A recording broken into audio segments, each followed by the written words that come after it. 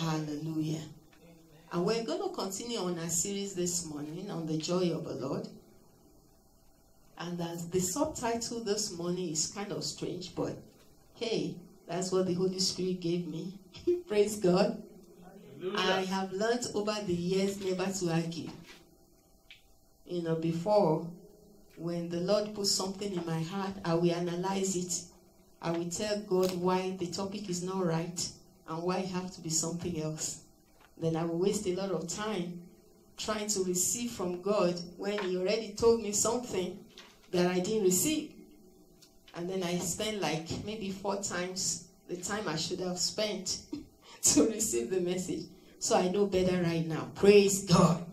So when the Holy Spirit gives it to me, I just say, Yes, sir. Hallelujah. And I trust Him. So the, the subtopic for today is forget your past. Forget your past with semicolon. Trust in God's word for the moment. Forget your past.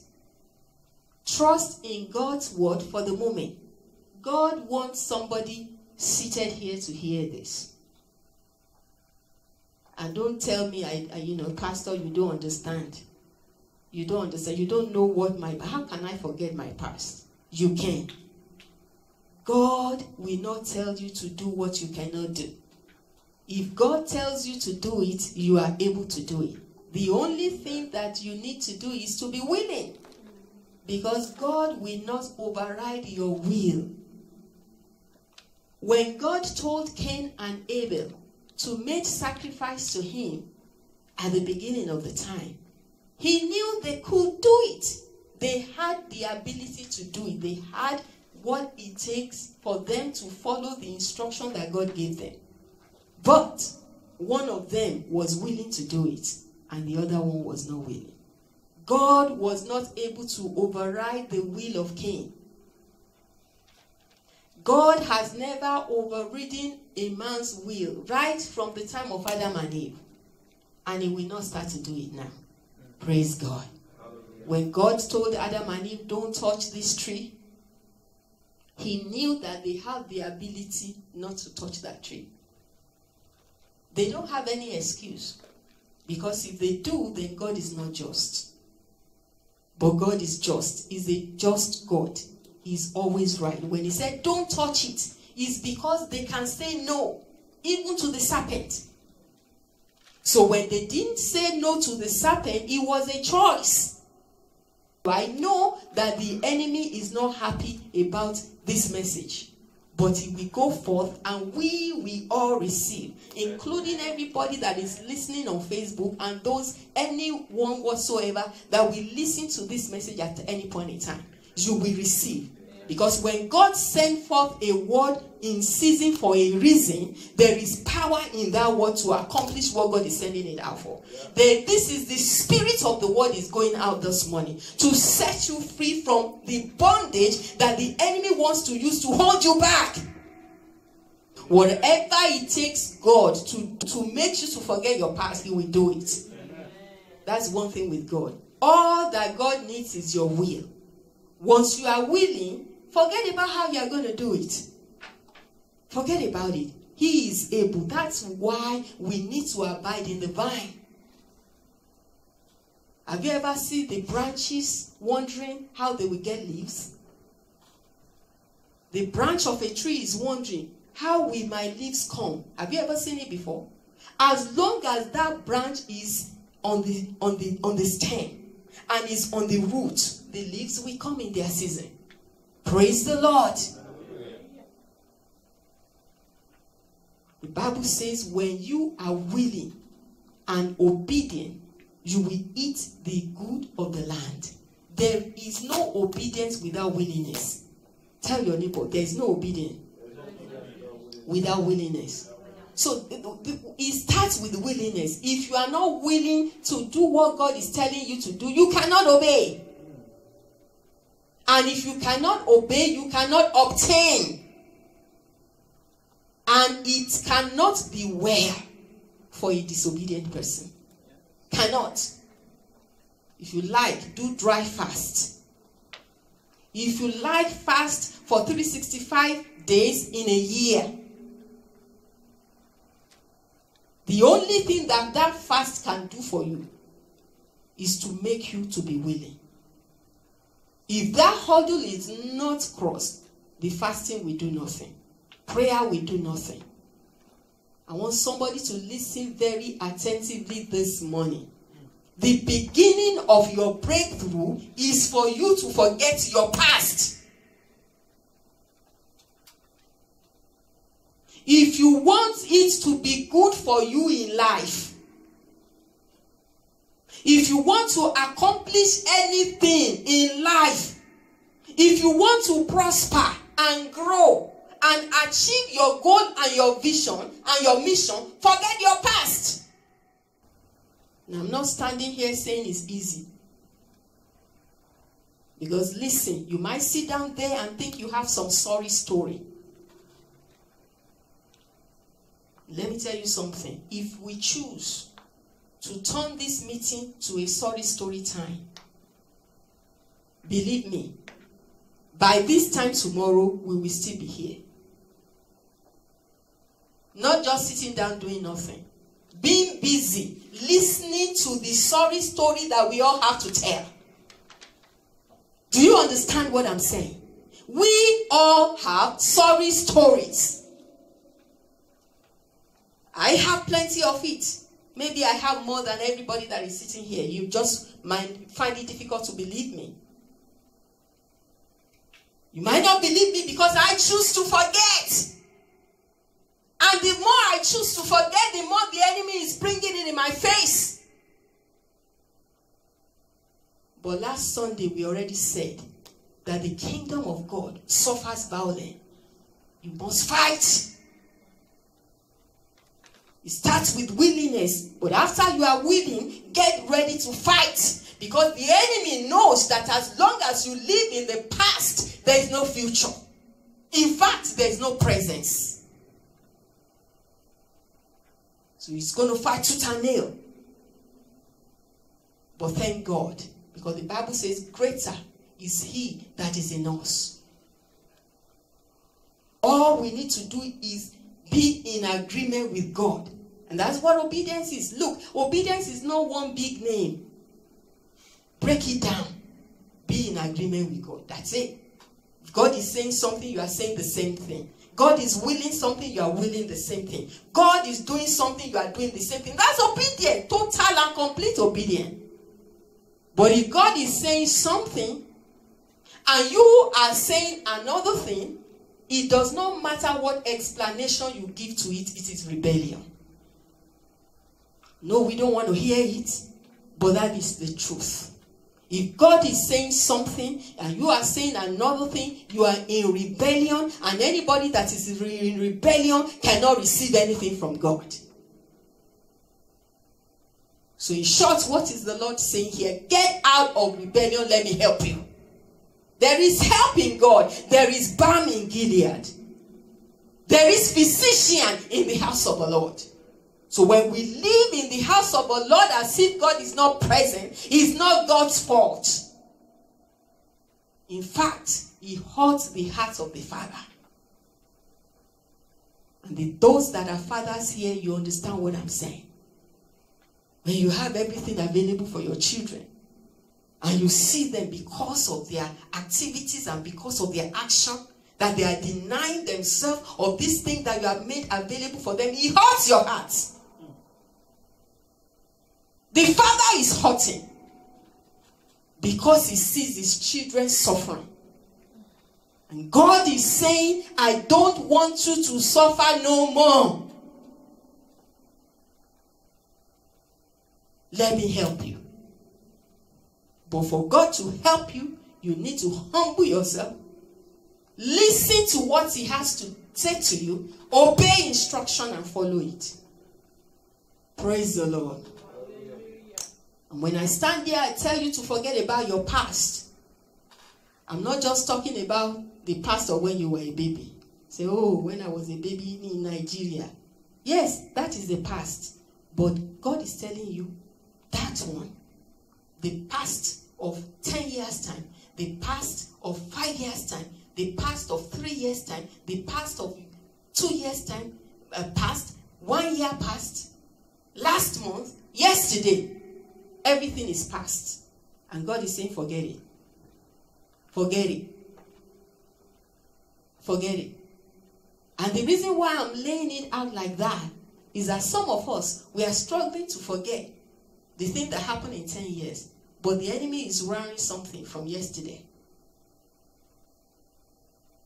And as you are detangling yourself from the 10 years ago, something is hooking you down from yesterday. The devil is a liar. That's why it's got to be all.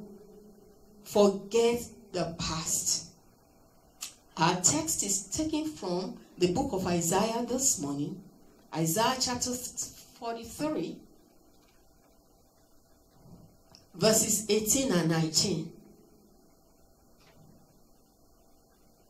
Isaiah 43, 18 and 19. Remember ye not the former things, neither consider the things of old. Why? There is a reason. There is a reason why God is saying forget the past. Because there is something that God is working on and He wants you to have it, and you cannot have that thing as long as you're holding to the past. Verse 19 says, Behold, I will do a new thing. Now it shall spring forth. Shall ye not know it? I will even make a way in the wilderness and rivers in the desert. That's an example that God is given. Because even. Now, I'm going to read it to you in the message translation. Because sometimes it's difficult to get King James. Message says, forget about what has happened. Forget about what has happened. Yes, that's what happened, and that won't happen, and this won't happen, and that's what, oh, miserable life. God said, forget about what has happened. Don't keep going over old history. Don't keep going over it. Don't keep talking about it. Don't keep thinking about it. Don't keep meditating about it. When you have, when you sit down, you put your, your hand like this and your head like this. What are you thinking? What are you thinking? God says, stop it. Now look at the way uh, the Message Bible put verse 19. It says, be alert. Somebody say, be alert. Be, alert. be present. Say, be present. I'm about to do something that is brand new. Look, when we dwell in the past, we cannot be alert to God. When we dwell in the past, you cannot be present with God. He is speaking, you are not even hearing. And when you hear it, you are not receiving it. You must let go. So, what are we saying this morning? which I will keep saying over and over and over and over again until the end of this ministration. Remember not, do not recall in your mind those past experiences of yours. Do not retain in your memory, erase it. You have the power to do that. Just as you have the power to be thinking over and over and over again just be ruminating about it, you also have the power to erase it in your memory. And you will do it. The Holy Spirit is going to help you. God will give you a willing heart. Every stony heart in this place this morning is broken down by the word of the Almighty. The Bible says the word of the Lord is like a hammer, it breaks into pieces the rock. Every rocky and stony heart this morning, I command to be broken by the word of the Lord. In the name of Jesus. You will be helped this morning. Because you find yourself in this place this morning, you will be helped. In the name of Jesus. Do not keep in your mind your past. Do not dwell. Don't dwell. Some people are sitting here, but they are living in their past, dwelling in the past, sinking into the ocean of the past. That's what the past does. Drown you. But that is ending today. Don't cling to your past. Release it. And then lastly, stop telling it. Stop telling it. The more you tell it, the more you give it power to stay in your memory. The more you tell it, you know, how do we memorize the word of God? How do we write the word of God in our hearts? Can someone tell me? With your tongue, right? So, if you want your past to stay with you, continue to talk about it. But if you are willing to let it go, you stop talking about it. And I'm not saying it's easy. Because I can tell you when you leave this place today, unconsciously you want to pick up the phone, call a friend, and start talking. That's when you check yourself and say, That one is past. I'm not doing it anymore. Anytime you feel like that, just start worshiping God. Praise God. Or start talking about the promises of God, the now thing that God said He's going to do. Start saying it. Call somebody and say, Do you know what God said He's going to do? Say it. They will, they will hear and say, What's wrong with this one? Say, Yes, God said He's to do it. That is breakthrough. We, we put the word of the Lord and the promises of God in our mouth and anticipate it with joy, and you will see it happen because God is faithful. Praise the Lord. And then the Bible says, Consider not. Consider not. Because he said, You don't remember, then don't consider. What does it mean to consider? Don't think carefully about it. Don't contemplate on it. Don't reflect on it. Don't brood over it. Know, you brood or you think over and over and over. Stop it. You cannot be in two places at the same time. Is there anybody here that can be in two places at the same time? You can be home and be in church. If there, if anybody raises your hand, it's deliverance time. We need to minister deliverance to you. What am I saying? You cannot be in your past and be present with God. So God is saying, choose now. What do you want? You want to stay in that rot, in the mud, not advancing, sinking? Or do you want something new? If you want something new, drop the past. Come to the present. And I know we are all obedient here. Everybody want good things for yourself. This is the beginning of it. Job chapter 9, verse 27. Job chapter 9, verse 27. I'm going to read this in the Amplified Version because it explains it better. Job said, If I say I will forget my complaint, then I will leave off my sad appearance and be cheerful and brighten up. Praise God. You cannot get over sadness. You cannot get over depression. You cannot get over sorrow except you let go of that complaint because of what happened in the past. We have been doing the teaching on the joy of the Lord. And some people have heard all my preaching, but in their heart, they are like, How can I have the joy of the Lord? How? Because you, you just can how can you cannot have it with the past. The beginning of you having the joy of the Lord is let go of your past. Because those sorrowful things, when you live in it, when you ruminate over it, when you think about it over and over again, there is no cheerfulness, there is no brightening of your days.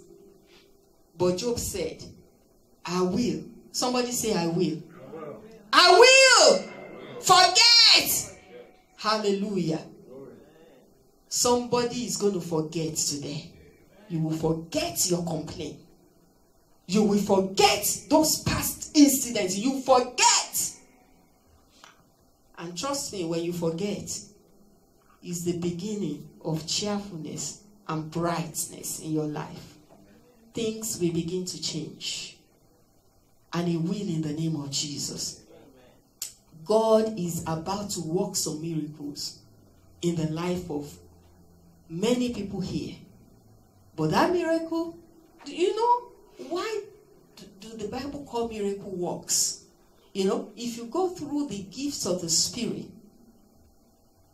and the Bible wanted to talk about miracle, it says working miracles, right? Working. Because miracle needs to be worked. It must be worked. There is something that leads to it. Otherwise, everybody we have miracles. Even when Jesus Christ was walking on the face of the earth, it was not everybody that encountered Jesus that got miracles. Some people walked it, some people did not. This is the working of the miracle in your life that God is telling you the know how this morning. Forget your past. If you are willing to do that and to work at it, you are starting to work some miracles in your life. Praise God. And it will happen in the name of Jesus. Job chapter 11. Job chapter 11 from 15 to 19. He said, For then shalt thou lift up thy face without spot. Yea, thou shalt be steadfast, and thou shalt not fear. Look at 16. Why? Why will there be steadfastness? Why will there be no fear? because thou shalt forget thy mystery and remember it as water that pass away. If you must live out of fear,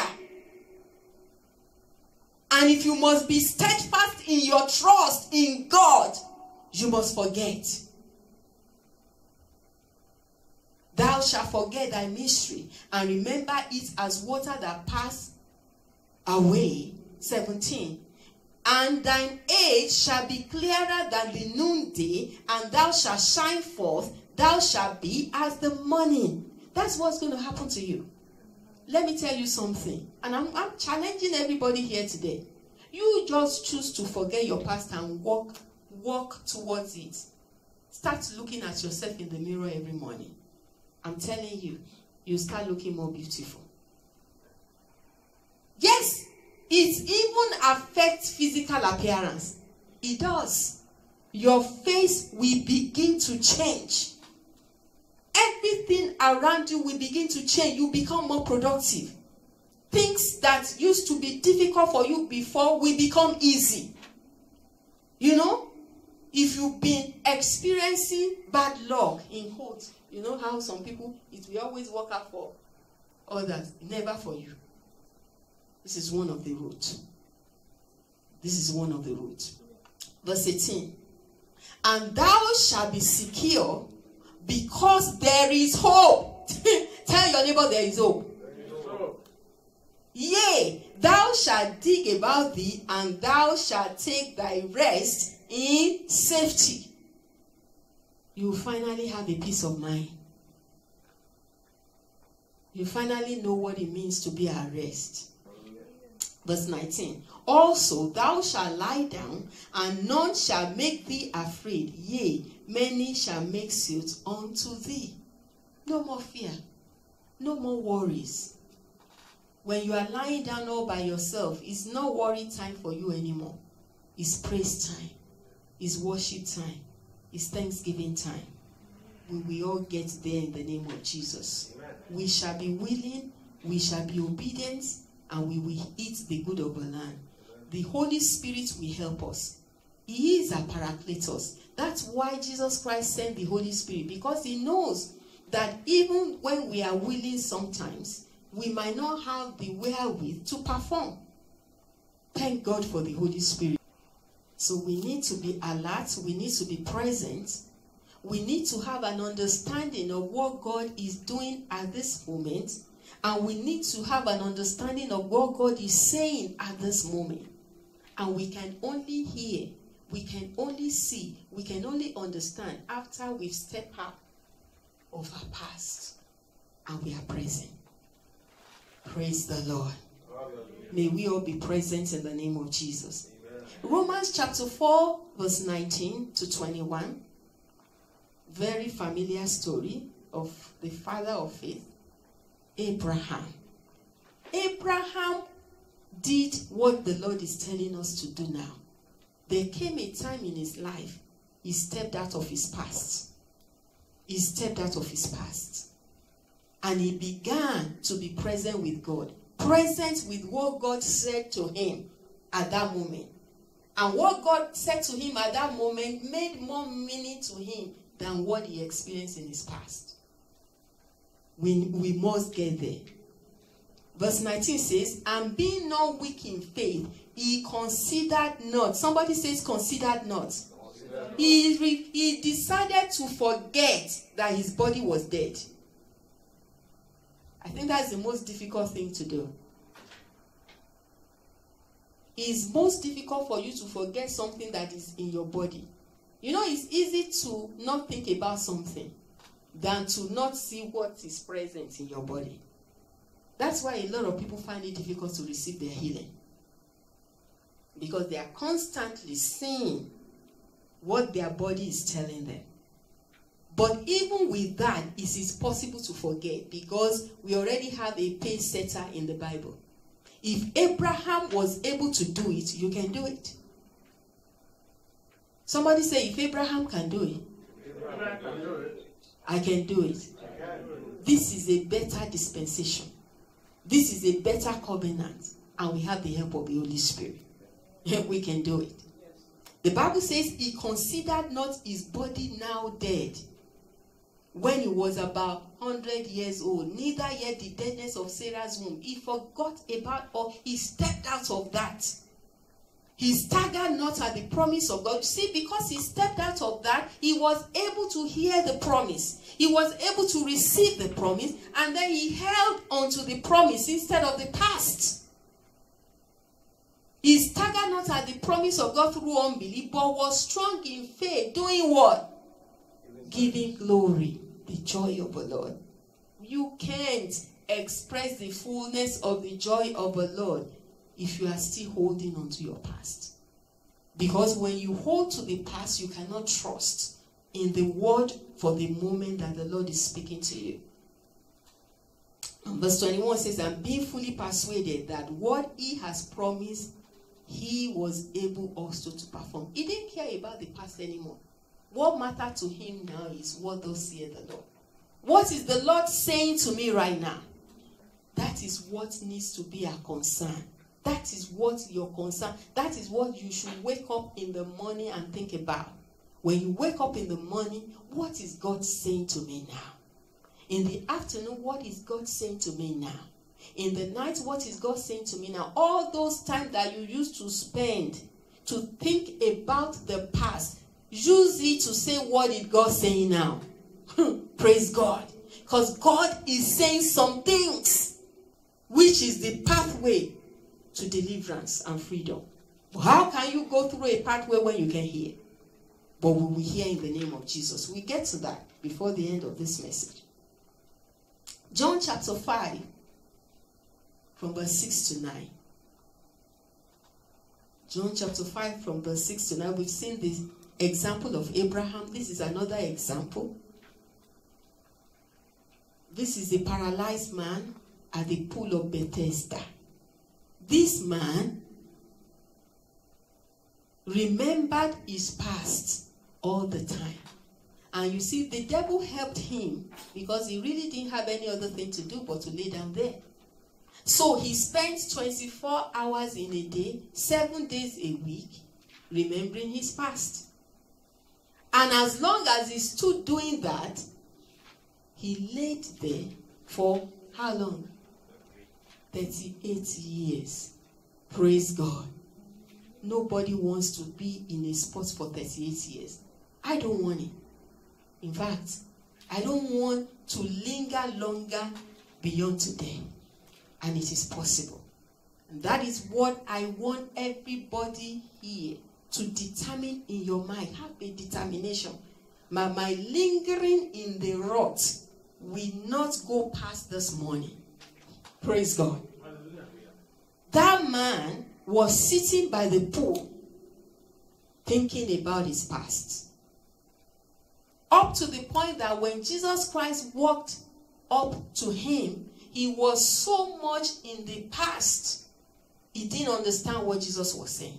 Jesus is talking, Holy Spirit is talking, we don't hear, we don't understand, it doesn't make any, any sense to us because our thoughts and our mind is full of the past. John chapter 5, from verse 6. I'm going to read. When Jesus noticed him lying there helpless, knowing that he had been in that condition a long time, he said to him, Do you want to get well? The invalid answer, I can't. Is that a response to the question? Is it? No. From the best of my understanding, if somebody asks you, Do you want? you will either say yes or no. But he was so stuck in his past. That was all he could think about. Why? Because anytime the angel comes down to trouble the water, somebody had done there before me. I'm never, that is his story. Tell your neighbor, change your story.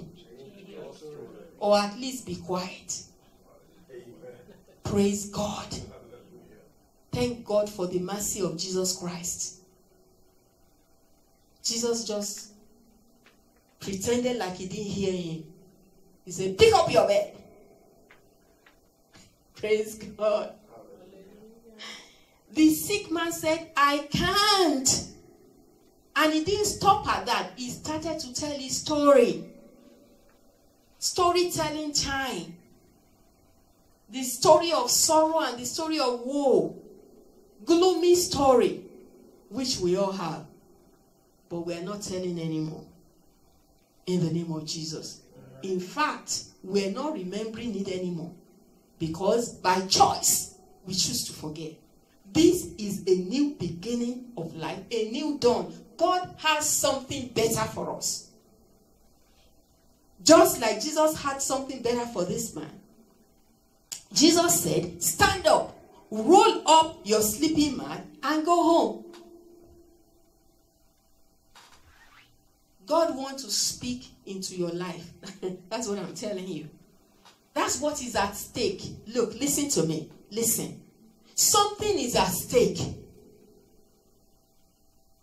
Because you might sit down there and say, Yeah, I don't want to forget my past. Something is at stake. I don't want to lose out. This man have suffered 38 years. He almost lost out. I'm not standing here saying that you have not suffered. Yes, you have suffered. I have suffered. But God wants to bring a change, and that is what is at stake. We cannot lose out. We cannot lose out of the present because of our past. God have spoken to us this year. Listen. And I'm saying this because the Holy Spirit said I should say it. When we declare this year and say this is a year of restoration, don't sit there and say, oh, they've come again and said something because something must be said. You understand what I'm saying? every year something must be said. if this is not something, God says it. This is thus says the Lord. You better have to sit tight and take it serious because that is at stake. Something is at stake. If you want restoration, if you want God to change the situation around, if you want God to bring that which your heart has been yearning for, which you desire, because this paralyzed man by the pool wanted to be healed so badly. That's why he did not stay in his house. He was sitting by the pool side. But in spite of that, his situation did not change. He was stuck in his past. If you want a change, do something. That's what I'm saying. Because God wants to speak to your situation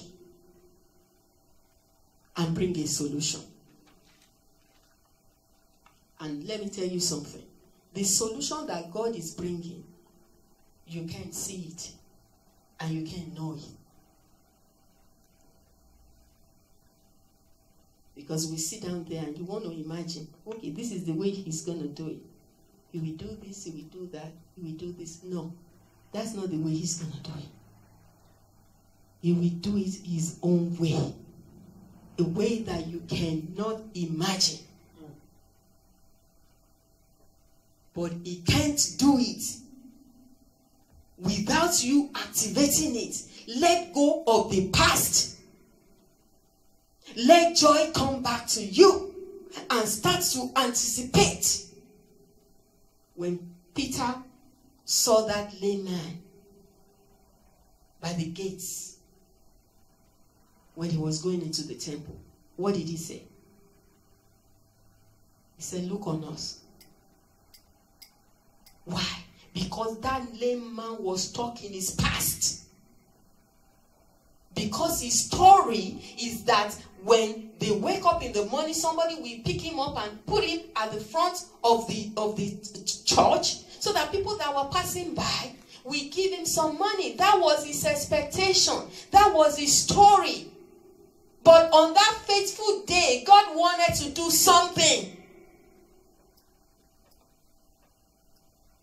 And he needed to listen to what Peter had to say. Peter said, Look on us. And then he started to make the declaration. God wants to make some declaration in your life, and he said, Look at me. You cannot look at two places at the same time. If you're looking at your past, God wants your attention. Take your eyes away from your past. Look on God. And see Him do the seemingly impossible great God, mighty, mighty, mighty, mighty God. All things are possible with Him. Amen. With with men, it is impossible. Yeah, all these years with a sad story, we pull this, we pull that, we try this, we, it's, it's, it, it didn't happen. But with God, all things are possible. Psalm 77. Psalm 77.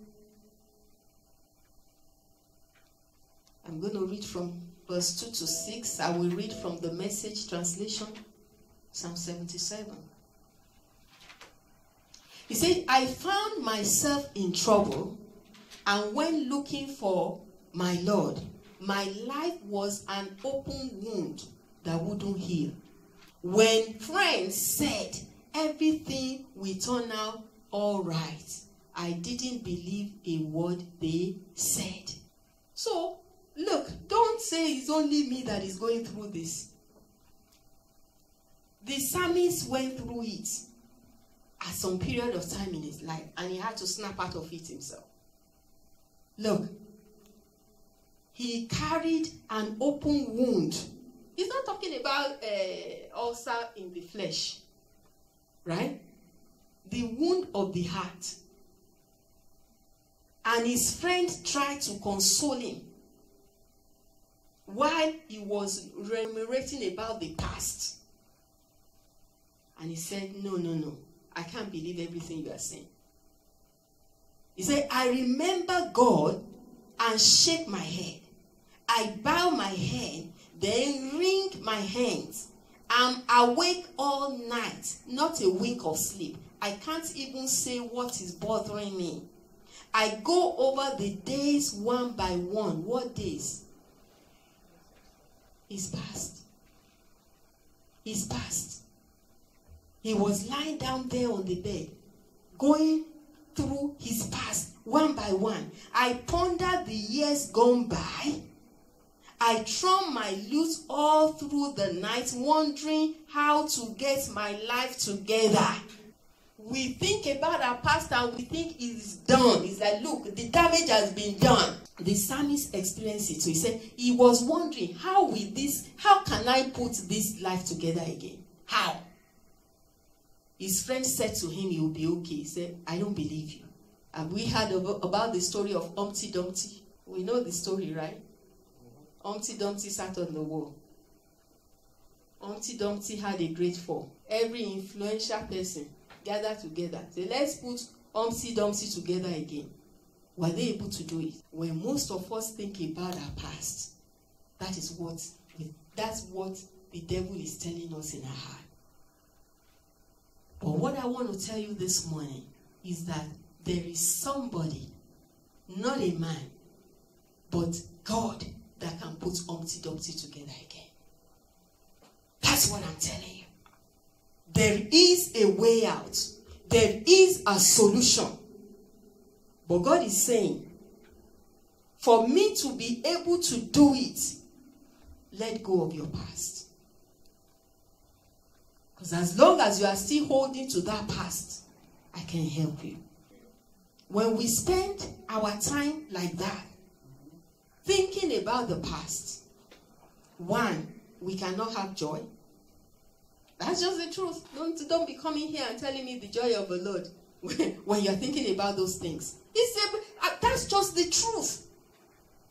You cannot have joy, one. You cannot trust God because you're not even hearing Him. All that is in your mind is what has happened to you, what is going on, how your life has been damaged, how it can never be fixed again. Mm-hmm. Number three, you cannot have faith. Because if you don't trust, there's no faith, there's no joy. You can't have faith without joy. They work together. When you have an assurance, hey, come on, you are joyful. When you already sign, if you want to buy a house, you sign a contract already. The person that owns the house is still living there. What do you do? You start calling all your friends that you bought a house. I mean, that's it. Because you trust. Because you have faith in what you have done already. So, if you really have faith, you will have joy. When there's no joy, there's no faith. So I've given four, five, you cannot move forward. There's no way forward. Leads to frustration. We get stuck in the rut. And that's why God is coming to help us to take out of us out of that rut, and He will. For faith is now. Now. Bible says in Hebrews 11 1, now faith, now. We do away with our past. We step into the presence. Let's go back to Psalm, Psalm 77. And I want us to listen attentively to this. I'm going to read from verse 13 to 15. I will read from the New Living Translation so that it is easy for us. I want to tell you something about God. And I want you to hear that today. Take it home with you. Think about it over and over. Meditate upon it. Say it with your mouth. Verse 13, it says, Oh God, your ways are holy. Is there any God as mighty as you?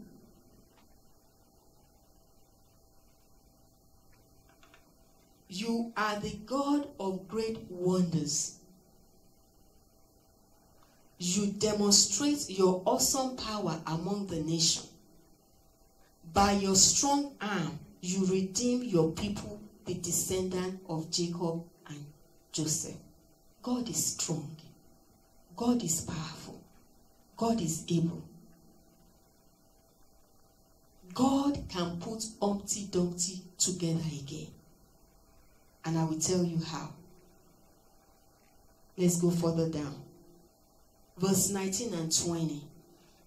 Your road led through the sea, your pathway through the mighty waters.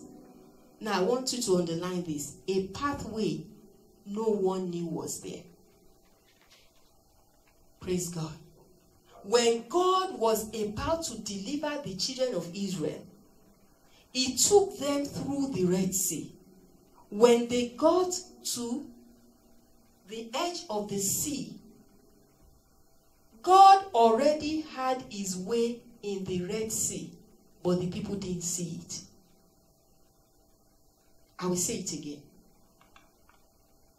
When they got to the brink of the sea, there was a way in that sea, but the people didn't see it. And because they didn't see it, what did they do? They were afraid. They were crying. Why were they afraid? Because they remember their past. Do you know how many times Pharaoh have said you can go and he called them back? So when they got to the brink of the Red Sea, to them it has happened again the way that it has always happened. Pharaoh is coming again to take them back. Because when they look in front of them, the Red Sea was there. When they looked behind them, they saw Pharaoh's army coming. So they are like, oh yeah, we are slaves forever. It, it has happened to them too many times. But the Bible says God had a way in that pathway that nobody saw. What am I telling somebody here today? I'm telling you that God have a solution to that issue that is bothering you now. I'm not saying he's going to create the solution. I'm saying he has it today as I'm talking. You just don't see it.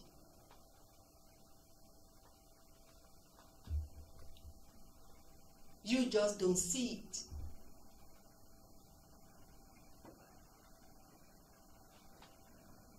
There is a way. There is a way. There is a way. There is a way. No matter how messed up the situation is.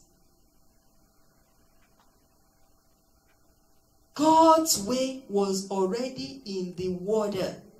His pathway was there. No man can see it, but God saw it.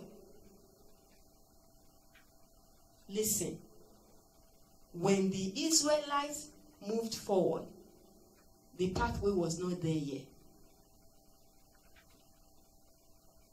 I'll say it again. When the Israelite, you know, because when Moses went to God and started complaining, what did God say? Move forward. Move forward. What, where do you want? There is water. No, there is a pathway in the water. There is a solution to that problem. You just have not seen it. And the reason why you have not seen it is one, you are stuck in your past. Two, you can't focus on God to hear what He's saying.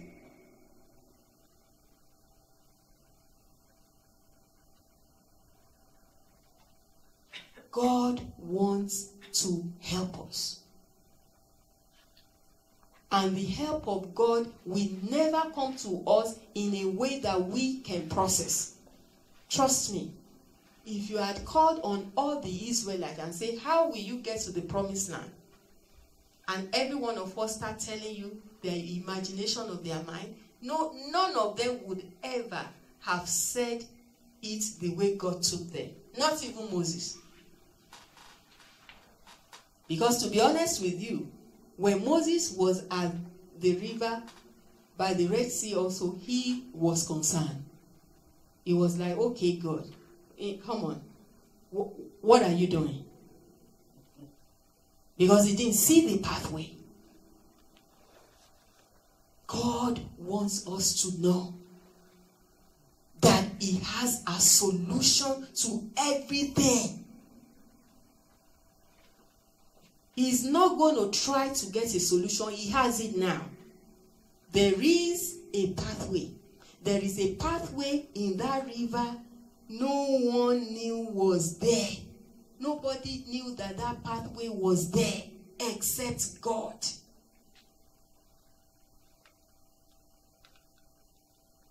The King James put it, he said, Thy way is in the sea, and that path in the great world. Of course, the way of God is not is not like the way of God is always in the sea.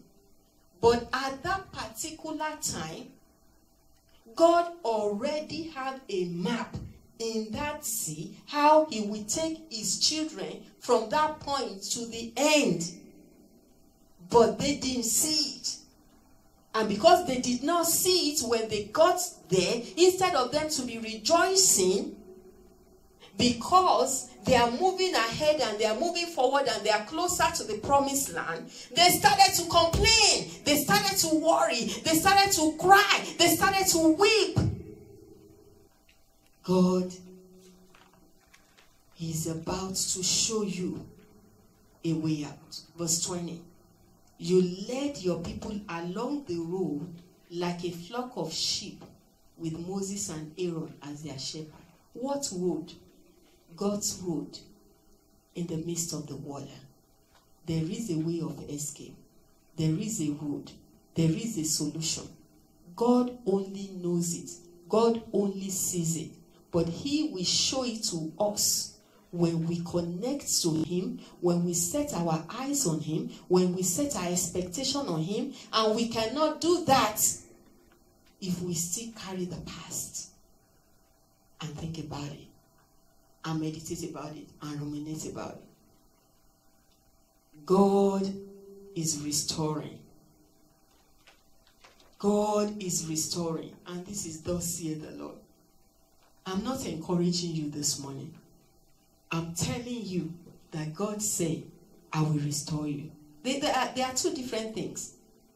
You know, I might see you that you need encouragement and come to you and give you encouragement. This is not encouragement. This is God telling you, I want to restore you.